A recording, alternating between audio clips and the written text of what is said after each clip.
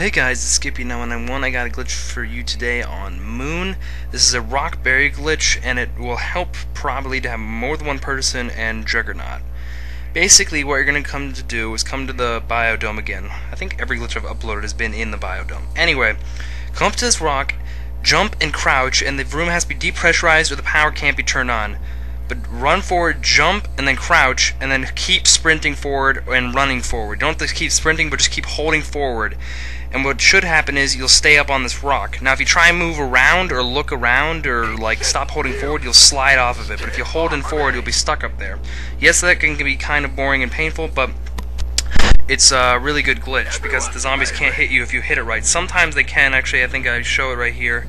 Um, when I get up there, they'll be able to hit me. But it's really good if you have teammates because they can just shoot the zombies as they go under you. Yeah, right here, if you don't go up high enough, they'll just hit you.